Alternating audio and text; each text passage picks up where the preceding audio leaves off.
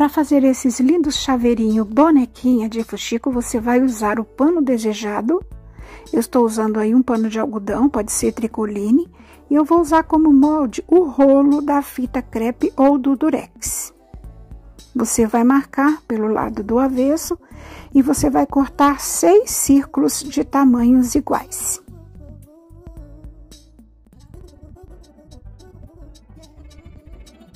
Eu vou fazer seis pétalas de fuxico. Basta você fazer o alinhavo na beiradinha do círculo. Depois que você terminar o alinhavo, você vai fazer o enchimento e vai dar uns pontos de acabamento.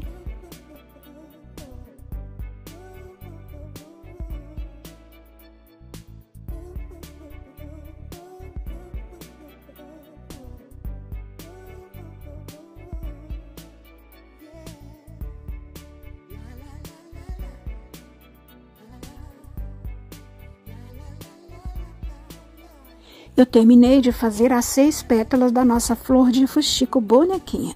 Agora nós vamos fazer a carinha da boneca. Você vai usar um tecido na cor da pele e você vai cobrir um botão. Esse botão é de 32. Mas você também pode usar a mesma medida da tampinha da garrafa de refrigerante. Você vai enrolar e depois você vai cortar.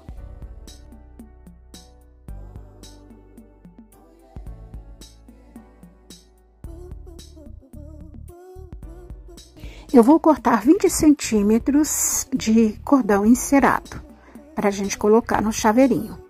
A parte de cima você dobre ela sem cortar. E agora você vai dar um nó mais ou menos 3 a 4 centímetros. Desmontar agora o chaveirinho. Pegue uma pétala de fuxico e vai colando as outras em volta, passando cola quente.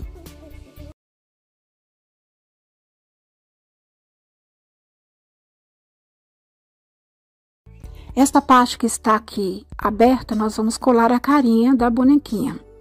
Mas antes de colar a carinha, nós vamos pegar o cordão encerado e nós vamos colar o chaveirinho.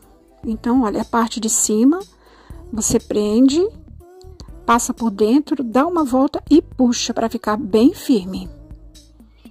Agora, você vai colocar cola quente e vai colar o cordão encerado por dentro do chaveirinho antes de colar a carinha.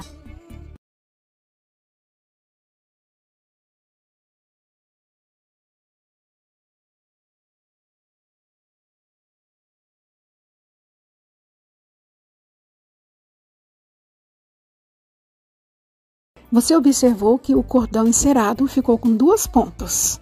O que nós vamos fazer agora? Colocar pedrarias. Você pode colocar as pedrinhas da cor que você quiser, pérolas, miçangas, o acessório que você quiser aí para decorar o chaveirinho.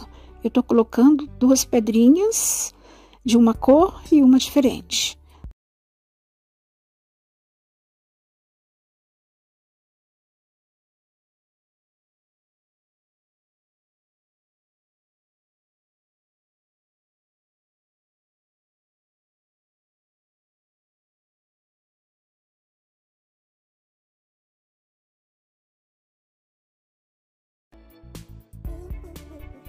E para terminar o chaveirinho, nós vamos fazer a carinha, desenhando os olhinhos e a boquinha. Você pode usar com uma canetinha, se você tiver em sua casa, ou pode usar também a tinta preta.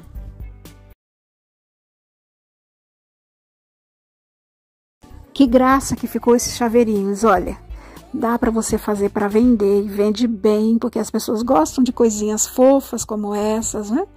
E eu espero que você tenha gostado desse vídeo. Se você gostou, me dá um like aqui, vou ficar feliz. E também se inscreva aqui no canal se você ainda não foi inscrito, tá bom? Muito obrigada por você ter assistido meu vídeo e até o próximo trabalho. Tchau!